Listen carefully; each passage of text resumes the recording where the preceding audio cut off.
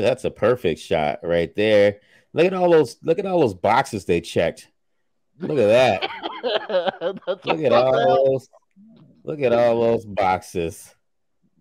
Huh. Okay, it, just show me the time code for a sec. Just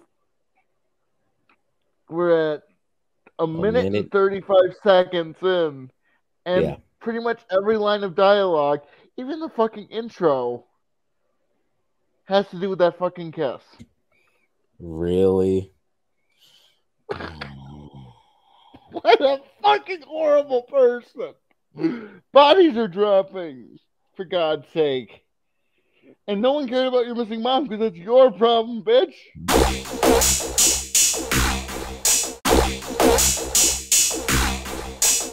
Hail to the fellowship. We thank you guys for tuning in. I'm your nearly normal reviewer, the Elvin Barber, and joining me, as always, is the lore loyalist himself, TC, the token cripple. Hello. And we are those guys. TC, we did it.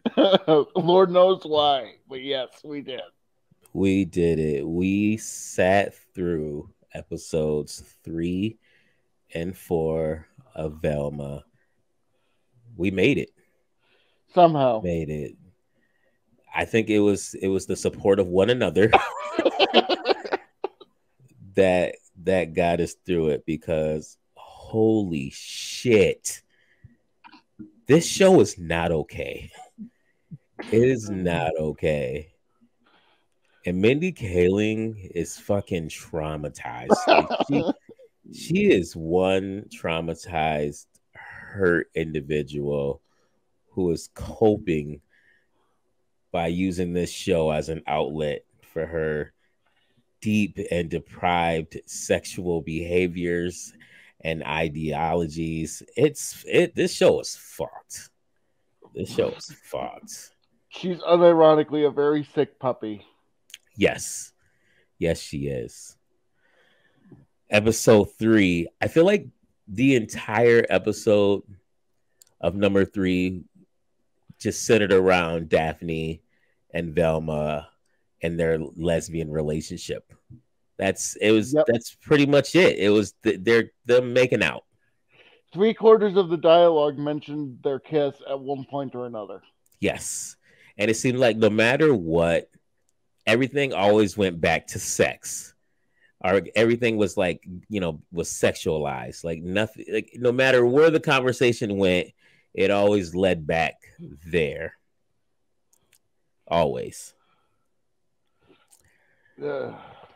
mindy kaling is a thirsty horny little bitch that's what she is and and anybody who unironically enjoys this show needs to be on put on a watch list yeah, they yeah, they do. They do. Uh the Batman joke they made in episode 3. Yeah, fuck them. No. Oh, sorry, sorry. That was uh, it hasn't been 30 seconds yet. it's it's it, it will it will have been by the time by the time we start talking about it. Yeah, none of the jokes are just landing the, the way they treat mental health exactly the way they they treated mental health during the episode uh, fred talking about no one no one watches me pee like mommy does like what mind you i have i have a uh four year old and a six year old niece both of which go to the bathroom on their own and i'm perfectly fine with it yeah, we got this soy boy who's about 15, 16, and uh, they're portraying him as a little bitch as well. I. Meanwhile, white man bad, white man incompetent, white man, white man um achieves goals by privilege.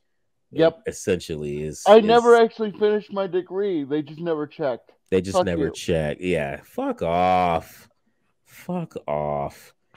Yeah, this episode was, it's, you know, what? this episode was fucked, and there was the, the whole thing was just about their relation, uh, lesbian relationship. But episode four, sir, that that thing that was even like it just took it to a whole nother level of gross and perversion. Everyone was talking about how hot these girls are. They're 15. They're in universe. They're 15. 15. Even if they were, even if they were legal, technically, it would still be creepy as shit for correct supposed adults to be watching this trash. Correct. Yeah. All and it's it's so so weird because like all the adults in the show are like, oh yeah, let's talk about how hot they are. Let's they're just how... as, they're just as thirsty as Mindy Kaling is. Yes, yeah, they are. Yeah, this shit this shit is not okay. this is so disconcerting and concerning. Oh my god, ranking 15 year old girls on levels of hotness. Like this show was like like it was giving me pedal vibes for sure. I, I'm not kidding. Anyone who unironically enjoys this show needs to be put on a watch list. Oh, I don't I don't disagree. I don't disagree. I like the fact that you know bodies are dropping, people are dying. Yeah, the only thing Velma's worried about is her mother who fucking left her. Who made yeah. the who made a smart decision to leave her fucking ass. And as far as we can tell, she did so willingly. Yes. Yes. And she literally in the middle of an assembly where another body dropped, she said, Why aren't they talking about my mother? Fuck you. The world doesn't revolve around you. Your mother left years ago. You were maybe 10 when she left. You fucking narcissist. You fucking narcissist. And she left because of you. So. uh, I.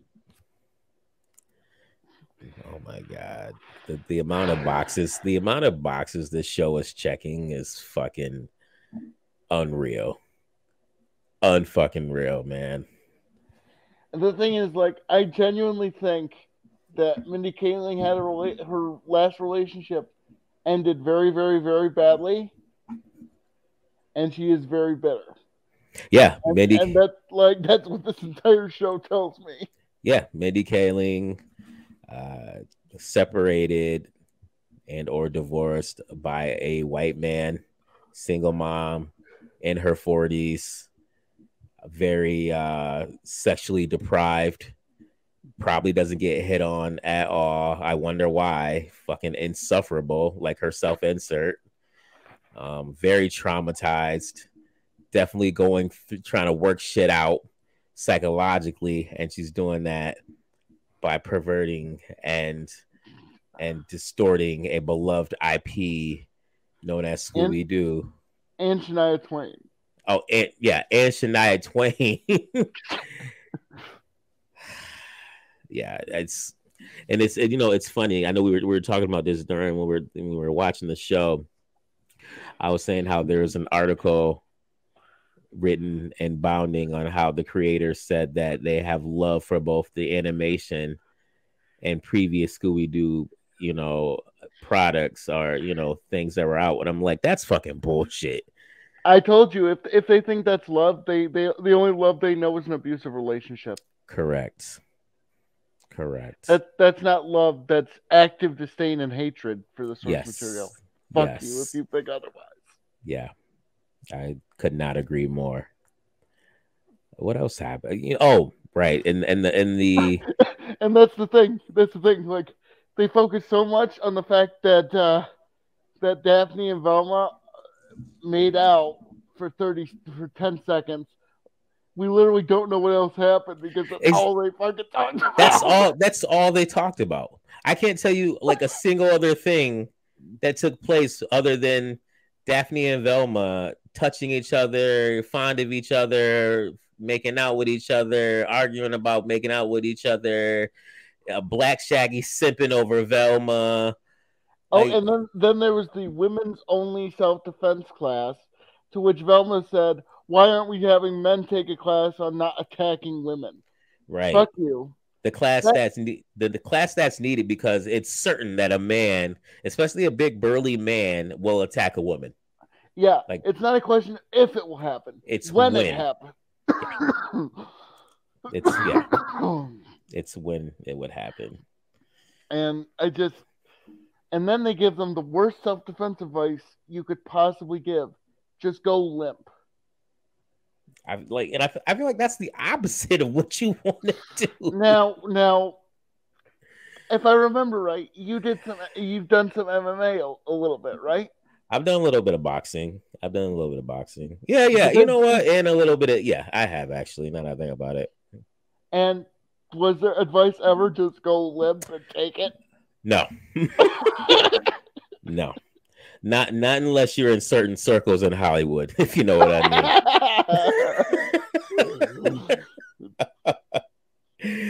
Uh, not, not, unless you're Ezra Miller, but um Tish.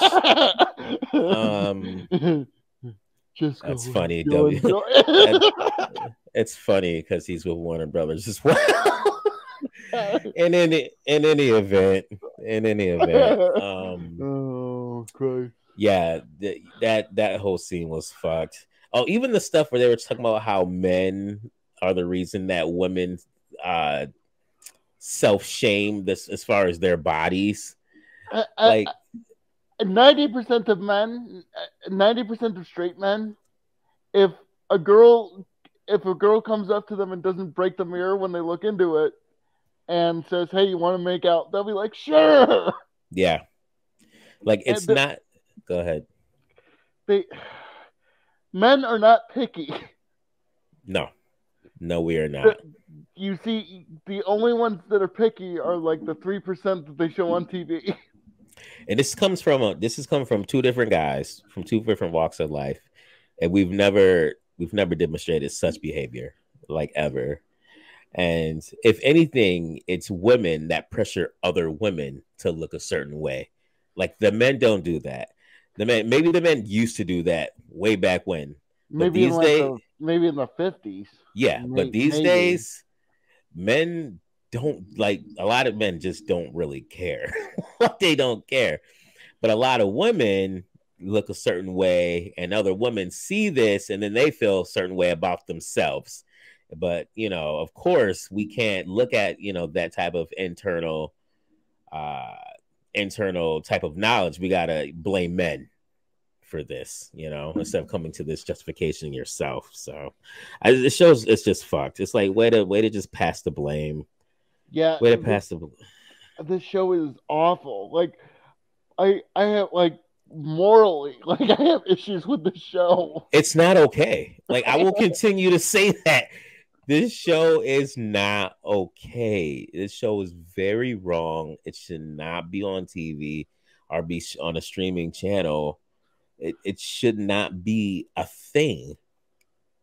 It's wrong. It's gross. It's perverse. It's disgusting. Narratively, it, it's it's all over the place. It's off the rails. It's it makes so no vacuous. sense. Yeah. What li- what little narrative there is that isn't like slimy. It's just so vacuous. I mean, hell, even the antagonist, the antagonist is calling out Velma on her shit, and it's making sense. Like the bad yeah, guy isn't actually supposed to be unironically correct. Exactly. Like you're backing at the bad guy at this point. You're like, yeah, that's how I'm like. That's not. That should not be a thing where you end up supporting the bad guy in the show. yeah, Velma is so insufferable and unlikable that you you find yourself, you know, empathizing with the bad guy in this fucking show. It's it's ridiculous. Yeah, and then there's also their their treatment of mental health. They like they don't acknowledge the counselor. They mouth off in the middle of an assembly on mental health. They don't take it seriously. And the and then the same character who was the one who mouthed off to the counselor was like, mental health is important later in the episode. I'm like, well, you wouldn't know it based on how you acted. Correct. Is it important? Is it not important? Are you backtracking? What's going on? Is this how you really feel? Is it not? Are you just saying this just to save face now? Maybe I, they're just too stupid to realize what the first scene meant. That probably, you know what? That sounds more accurate. That sounds. That's definitely a bunch of morons who are part of this project. I'll tell you that. It's not. I you know I wouldn't even classify this as lazy writing. It's just fucking idi- idiocy. That's what it is. It's lazy write, lazy writing, idiocy, and sliminess. Like yeah, it, it, I gen I, I feel unclean having watched this show. Oh no, I agree. I agree. I mean that one portion at the end of episode four, and you know, she's like, "Oh, ladies, we gotta get you to shake your asses sexually to get people's attention." It's like, what? 15 15 this is this is this is this is okay in your mind? You need help. You need some serious fucking help. Yeah it, this this whole show is it, it's it's bad man. I i feel uncomfortable. I do. Jinkies shut the fuck up. That's that's what you want to say man I still can't get over the fact that all their catchphrases are literal drugs. Yes. Yes, they are. That how dare they? they don't you know, care. as as bad as some of the the more recent outings for Scooby Doo are, at least they don't crap on the source material. Precisely. Not Precisely. like this. Not like this, no. No, there definitely there's no love like you said, there's there's pure hatred. That's what this show is is is identifying as pure hatred. There's definitely no love for the source material here. None. I I can see there's a reason very clearly why I think only one or two people that I watch on YouTube are still following this show it's because it broke them. And if it weren't for the fact that we were watching this together, it would have broken me by now. I would not correct. I know every oh God, it's so hard to get through to get through an we, episode. We made it less than two minutes, and that's including the previously on section before we had to pause. I know, yeah. Dude, we were only I thought there was one episode where we I thought we were at least halfway in, and we were only like six minutes in, and I was like, oh my gosh, this show fucking sucks. Like this show is taking forever. You would think a, a 20 minute show would be so like it'd be it'd be quick. And we, I know we stopped it a lot, but it's not even that. Like it just seems like it's just taking forever. It's That's how dragging. Yeah. It's how torturous this fucking show is. Oh, I've never wanted a commercial break more in my life. Oh man, yeah, there was there was like a moment where I had got a, a text from uh one of my supervisors, and I'm just like, thank God I had something to break this shit up. to break this shit up because this show is bad. This show is so bad. I honestly, who greenlit this? They need to be in jail. They do. They yeah. They need to be on a fucking watch list, like you said. That's when they need to be on one. And I really hope, I hope there isn't a season two. I like, pray to God. I hope there isn't a season two. If there is a God and he loves me and he loves you and loves the sanity of everyone in this world, they will not greenlit greenlight a season two. I, I, I pray to God the thing is, like, no one likes this show. I haven't seen one unironic. Positive. Actually, no. World, like I said, I think I said in the previous video, world class bullshitters covered one one article by Collider that was pro Velma, but I don't think anyone else. Uh, Collider is like the the peak of show media. So. Oh yeah. Yep.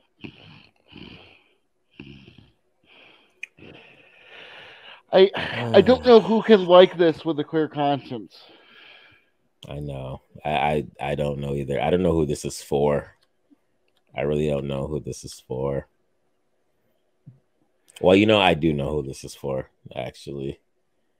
I do know who the savory, the less than savory types, but I won't go there.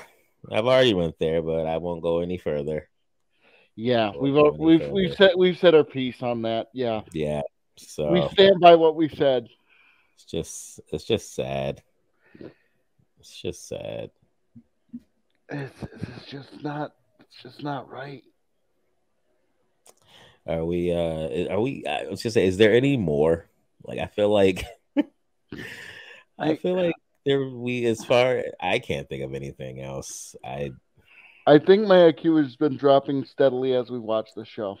Yeah, I just wanted to be over with. Just be over with. Yeah, so do I. So, any uh any last remarks, sir? I... Aside from your IQ lowering no. the episode. no, I. Uh, I think please, we'll be, if, if we'll there's be... if, if there's any if there's any if there's any justice in the world, cancel this show. The fact yes. that it even got greenlit is is a mark against justice. I agree. Cancel it's it. awful. Don't even finish the run. Like, don't even finish the season. Just cancel it. Just stop it. Cut it. Fucking Batgirl this shit. Scorch earth it. Erase it. How did it ex- survive getting cut? From existence. Animation is not a short process. How did it survive getting cut when they were doing all those cuts at Warner? Yeah, I guess she sucked the right dick, didn't she? Oh, Whoops. I...